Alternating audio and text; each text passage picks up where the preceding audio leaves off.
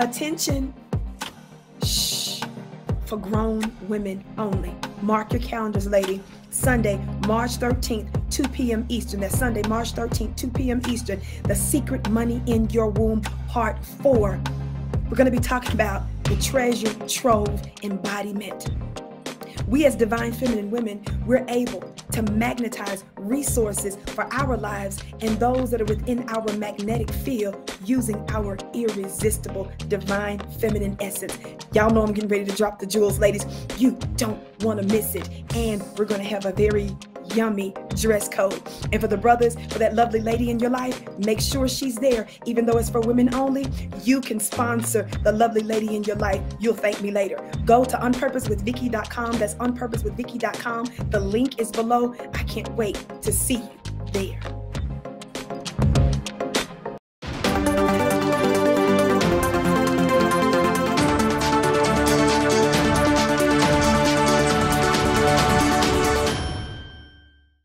So you have this, you know, little sister that's going to be dealing with, you know, some issues at her school. She's in seventh grade. And I've seen these stories so many different times, and it just really bothers me just as a father. Let's go ahead and roll that clip.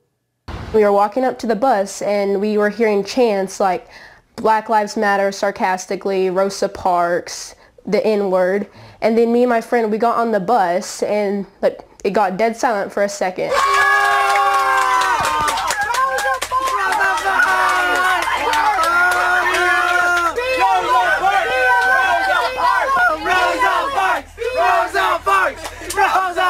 Kids chanting Rosa Parks, BLM, laughing and cheering, all directed at Alyssa Shaw.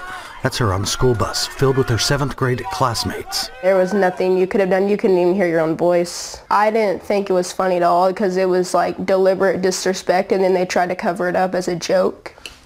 It's terrible. I think she is the strongest child ever. I, she composed herself better than most adults could in that situation. Alyssa's mom, Becky Burr, says a student on the bus sent her this video. Police are using it as evidence while they're looking into what happened. A letter sent to Burris by the middle school principal on Wednesday says behaviors and actions by certain students constituted bullying and they will be held accountable. One of the reasons we went this route is to get it out there that this is not gone. It is still very much alive and it is still very much happening. It's taught me that not everyone's your friend. Alyssa says it's not the first time she's been targeted at school. She says back in October, a boy was making racist comments to her. She says she hit him, and for that, they both were punished with in-school and out-of-school suspensions. Just a boy following me back from athletics when we were walking and just saying, I hate black people, I hate N-words. He got two days ISS, two days OSS, and I got ISS for a day. Alyssa is planning to finish the third quarter at Lavaca Middle School and then transfer back to Fort Smith. Because I don't, I feel like they're just going to continue to keep bashing me if I don't transfer. It's not acceptable. It's not okay. And she said she probably could forgive in time, and even if she does, it's still not acceptable. Because she's never going to forget that. Now, we see these stories time and time and time and time again. And I've said this, and I want to keep repeating this because we have the video evidence of it. This is the culture of white supremacy. This is what is taught in the home the hatred of black people. Those kids was, didn't know anything about the time period of Rosa Parks or the civil rights movement. You know, she said they were calling her the N word. They talk about Black Lives Matter. They say in a very derogatory tone which we, we know the way they say Black Lives Matter is like saying the N word for a lot of them. Uh, we, we know that, right? But let me speak to white parents here for a minute.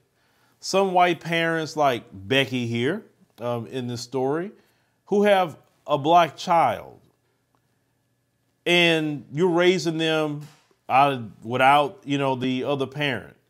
This is why I would always tell, especially our brothers, um, for sure because if they let's say if you know the the women got the black women got with uh, a zaddy nine times out of ten they're going to have the child. So I really have to say this to you know brothers, brothers when you having children um, with white women, if you're not going to be with them, don't do it. And the reason why I say don't do it is because the problem is this woman is white. In her mind, it's normal to be around white people. So she's not really thinking about the child she has. That child, no matter what nobody say, no matter what any of you say, they're gonna look at that child as black. No matter if she her mother's white. And some of you white parents, you want to put a black child in a predominantly white school where they hardly have any black children at all. And then you're shocked when they're treated this way. She's shocked. She's crying. She just don't.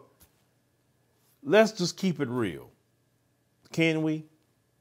Y'all know how y'all people are. You know.